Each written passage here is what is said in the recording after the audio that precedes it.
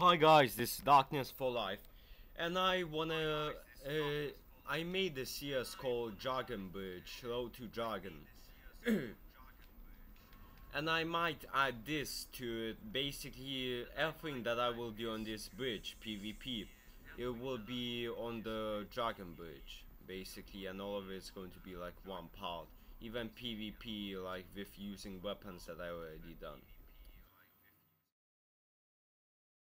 So enjoy guys, and I'm out.